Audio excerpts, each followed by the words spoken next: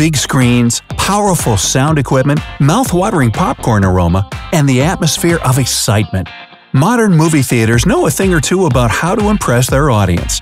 But even if you're a serial moviegoer, you might still not know some cool cinema facts, like what seats different specialists consider the best and why. But first, ever heard how a movie theater screen is called the silver screen? That's because earlier they added real silver to the movie screen material. It made the screen surface very reflective. Or, instead of silver, manufacturers sometimes used aluminum. It has the same reflective features. But the coolest thing is that silver screens are back. They're perfect for 3D movies. Now, not all screens are totally white or silver though. Most movie theaters have pearlescent screens. Such screens not only have good contrast, but also see to it that the image isn't too bright. White color isn't reflective enough, and a movie playing on a snow white screen may turn out too dim. If you come to a movie theater screen and inspect it, it will remind you of a sieve. There are 5,500 tiny holes for each square foot, and they're made not for better ventilation, but for clearer sound. There are powerful speakers installed in the right and left auditorium walls, on the ceiling, and in the back. But some loudspeakers are also hidden behind the screen. Tens of thousands of tiny holes allow the sound coming from those to reach you. Some movie screens are tightly attached to the wall, but some are floating, meaning that they are fixed to a separate frame. These floating screens are very popular in large formats, for example IMAX. If they were attached to the wall, it would limit their size. When buying tickets, most people don't think twice before choosing their seats. They intuitively go for the middle ones, but specialists in different spheres have their own opinion about the best places to sit. For example, sound equipment experts are sure that if you want to enjoy the best quality sound, you should always pick seats in the middle of a row. And the row itself should be two-thirds of the auditorium away from the screen.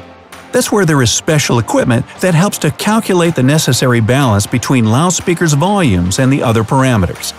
So, when you're choosing a seat on the scheme, divide the auditorium into three horizontal parts. Then pick a seat at the border of the second and third part in the middle of the row. Doctors, on the other hand, are more worried about your health and impressive sound effects. They ask you not to choose the seats that are right in front of the screen.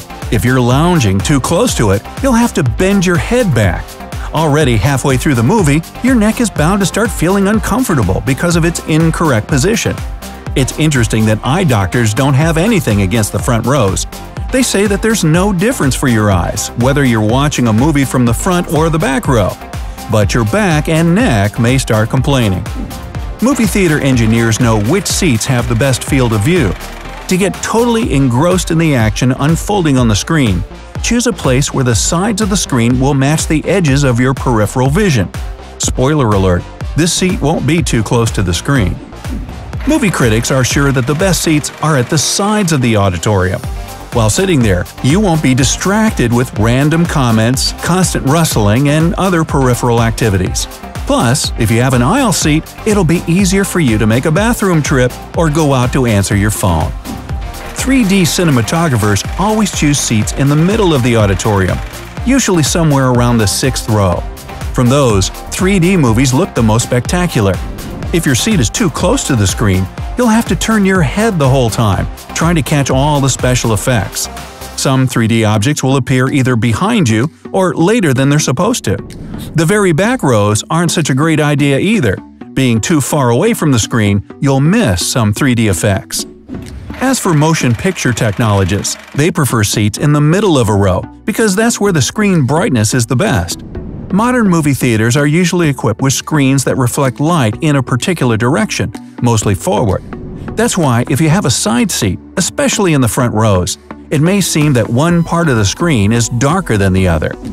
In any case, the main thing you should consider is your personal needs. Do you want to stretch your legs? Pick a seat in the side. Do you love clear, loud sound? Then sit in the middle.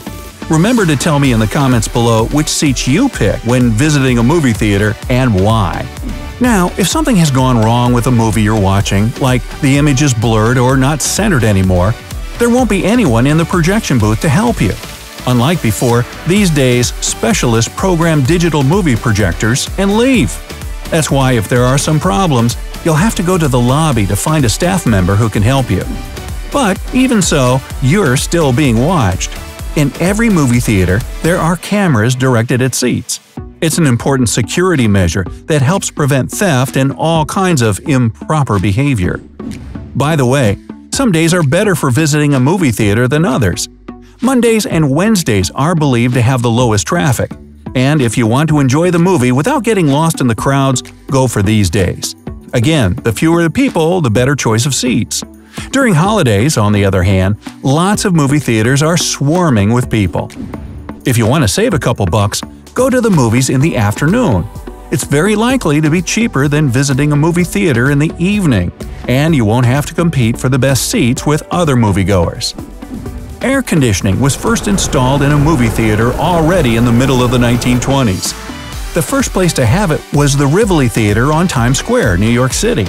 At the same time, cup holders appeared decades later. AMC theaters began using them only in 1981.